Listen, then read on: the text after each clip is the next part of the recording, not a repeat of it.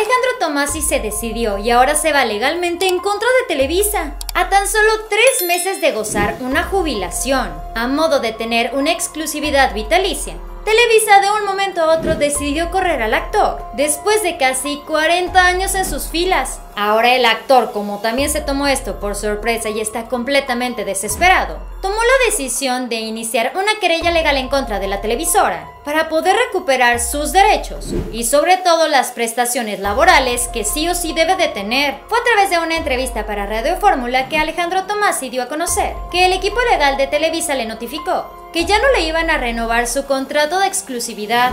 Esto por supuesto que le cayó como un balde de agua fría. Lo que sucede es que al actor le faltaban tan solo 90 días para cumplir el plazo legal dentro de la televisora, para que tuviera un contrato de exclusividad de tipo vitalicio. De acuerdo a las reglas y normas de Televisa, si un actor o actriz cumple más de 40 años laborando en la televisora de San Ángel, ya se le considera como un talento insustituible. Por esta razón, Televisa suele premiarlos al extenderles ese contrato de exclusividad vitalicia. A esto lo podemos llamar como una jubilación de la televisora. Obviamente Alejandro Tomasi estaba más que ilusionado porque solo le faltaban tres meses para poder alcanzar esta jubilación. Con pluma en mano, él ya estaba por firmar el contrato, al que literalmente tenía derecho, pero la televisora le dijo pues que siempre no. Televisa le dijo que como ellos ya no están extendiendo ningún contrato de exclusividad, él ya no alcanzaba a tener ese derecho. Obviamente Alejandro Tomasi se encuentra muy indignado,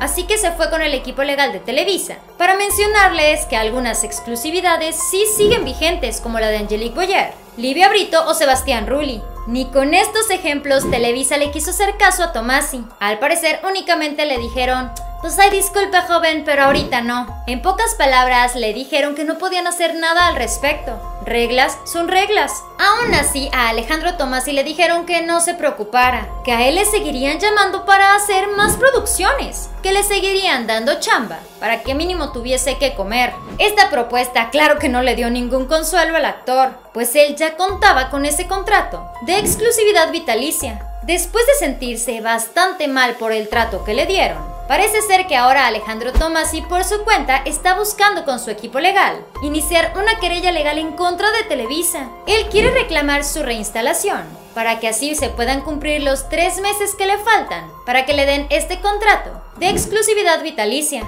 Lo que sabemos hasta ahora y que hemos sabido durante muchos, muchos años es que Televisa es una televisora demasiado poderosa. A través de sus influencias, suele salirse con la suya siempre. Por esta razón, Alejandro Tomasi quiso irse directamente con los medios de comunicación para poder obtener más apoyo y que Televisa de alguna forma u otra le haga caso. Alejandro Tomasi actualmente tiene 64 años de edad. Actualmente él se encontró con esta realidad de que Televisa ya no lo considera como uno de sus talentos irreemplazables. Algunos de los colegas que sí lograron obtener este tipo de contratos fueron Silvia Pinal o Ignacio López Tarso. Prácticamente a sus 64 años de edad, Alejandro Tomasi tendrá que comenzar de nuevo, como si fuera un novato en el mundo de la farándula. Esto fue Famosos de cerca. Dale like a este video, suscríbete y síguenos en Facebook. Espero que tengas un excelente día. Nos vemos muy pronto.